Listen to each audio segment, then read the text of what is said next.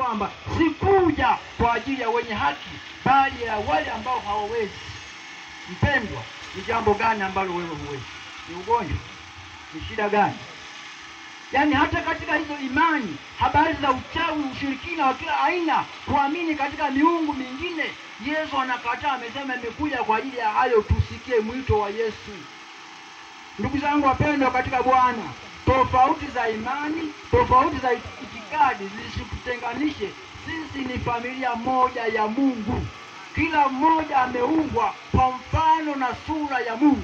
Hivyo hatuna budi kumtumikia Mungu kwa uaminifu kila wakati na kila wasaa, tusijenge madaraja. Bwana Yesu asifiwe sana. Mungu atubariki sana na alibariki neno lake sasa na hata milele. Amen. Tuombe. Baba mwema mtakatifu, Mungu wetu